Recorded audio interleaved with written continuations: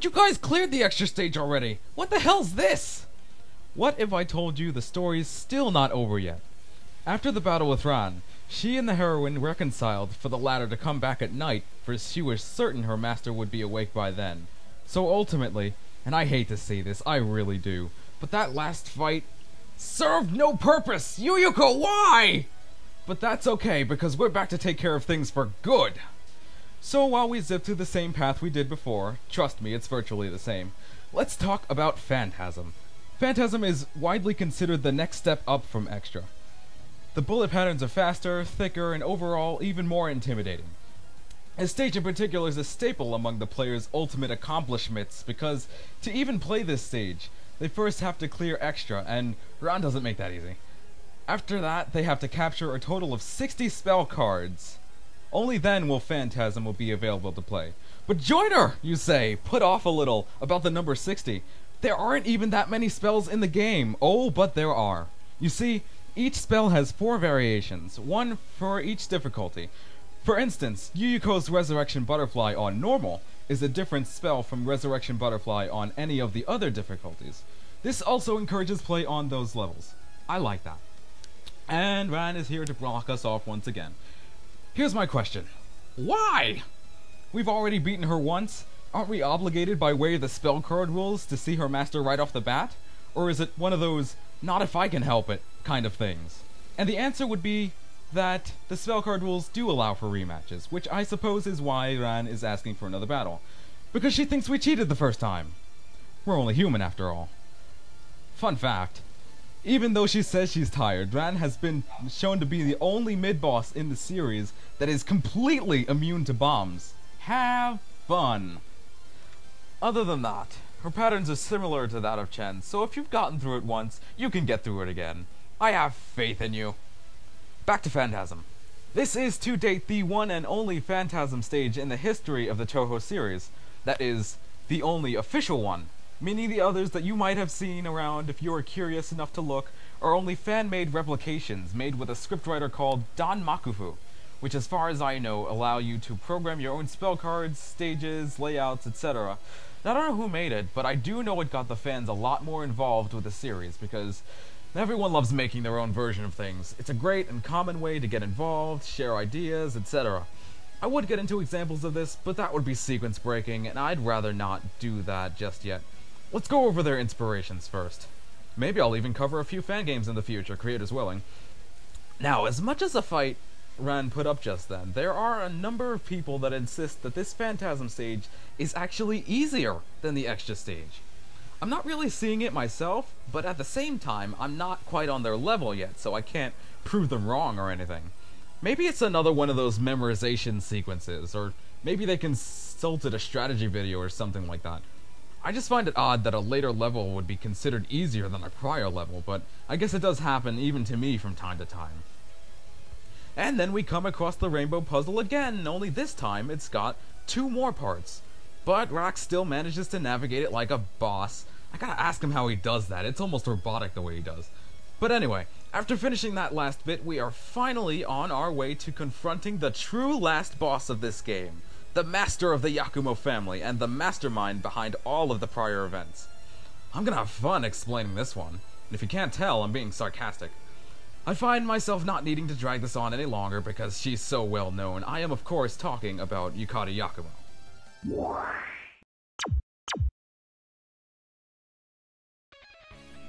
It's going to take me a fair bit to find the words necessary to describe Yukari's behavior, and that's because she is just that often an anomaly to everyone around her, and sometimes completely unpredictable and impossible to find. So we just assume she's quote unquote fooling around most of the time. This isn't to say Yukari's a fool. Even she has her reasons for doing what she does. We just don't understand them is all. So we could also say the more intelligent the character in question is, the less accurate my commentary is going to be. But I'll try my best. As Ran's master, she boasts an even higher level of strength and intelligence than Ran herself, who I already consider to be very smart and powerful, so I can't even consider the possibility. But it's there. She also wields the ability to manipulate boundaries, an ability which, when you take the time to think about it, it's incorporated in every pair of opposites. The sky and the ground, left and right, reality and fiction, life and death, I could keep going. She could twist it, blur it, or remove it completely. And that's extremely dangerous. Imagine a world in which we couldn't listen to music or concentrate for an upcoming exam because the boundary between noise and silence was rubbed out. Then you'll have neither, or both. If you can wrap your mind around that. I can, for instance. She can also open up boundaries of her own in any given area and pass through it as easily as taking a stroll to the bathroom. This can be used as a means of travel, or for simple cases of unsuspecting theft, or even for stepping into the outside world for a bit, making her one of the very few characters that can. Even though I said it like that, it made it sound like she was the strongest character ever, on par with gods of another realm. That isn't the case. Yukari is still a yokai, and as such, even as that that, and as such, even she can still be outclassed. Though for her to be that mighty anyway says something about the power of gods. It's truly incomprehensible. On top of that, she sleeps. A lot. Typically through all of winter and most of the day for the rest of the year. So even if you supposedly did live in Gensokyo, you're gonna have a hard time finding her. Much less finding, quote, somewhere along the boundary, which is where she's where she's said to live. That's like catching a party full of Feebas and Ruby and Sapphire. One is hard enough to find, good luck getting the sixth when you have no more useful Pokemon. When she is awake, however, she is a Pandora's box full of deviousness, whim, and fickleness, I tell you what. She's got this air of mischief about her, and combined with aforementioned ability to open up boundaries just about anywhere and cross through them, she is virtually always suspected of something, whether it be by the other characters or even by the fans. In spite of this, she always has Gensokyo's best interests at heart. She just has a funny way of showing it, to the point where she doesn't even really care about what barrage of bullets she's going to use next, and will even go so far as to lose a duel on purpose. Now Yukari's been around for much, much longer than Gensokyo's even existed. She's she was recorded in history archives dating back to roughly 1200 years ago under some sort of different moniker. What it is, no one has a clue. But she continues to show up in these records, and quite a number of times too. You'll see this as we progress through the rest of TP 101. No, that doesn't stand for toilet paper.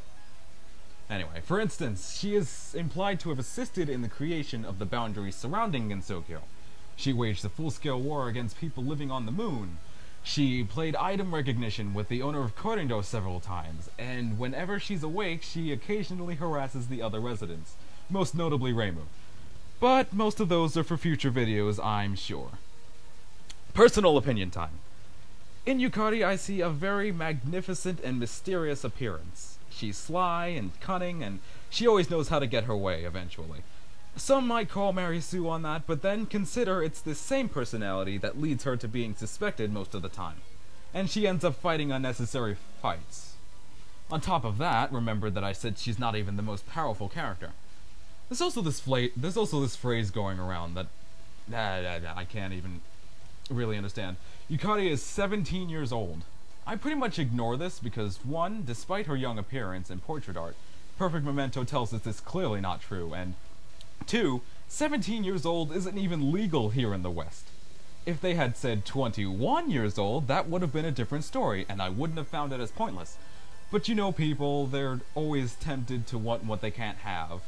That's a part of why people steal cars and perform bank heists, Maybe Yukari is an embodiment of temptation or wanting to be what you aren't herself without actually meaning to be. That's what she reminds me of, at least. Or maybe I just made that connection right now. You'll never know. Ha ha ha ha. And so finally, we reach the final, absolute final portion of this story of shrine maidens and regular magicians, and time-stopping combat maids and season irregularities, and spell cards that threaten to crush us within walls within walls of bullets. Once again, thank you to the people that had the replays available for use for this portion of Touhou Project 101. That is Nanotech for stages 1 and 5, Zero Gravity Alpha 1 for stage 2, Sick 07 for stage 3, Kaneko VOWG for stage 6, and raak for the Phantasm stage replay. And ultimately, we got nothing accomplished after all. Sometimes things just refuse to go the way you want them to, so I'm just gonna leave it at that. Thank you all for watching, and I'll see you next time when we go over Immaterial and Missing Power. Wait, we? Yes, we.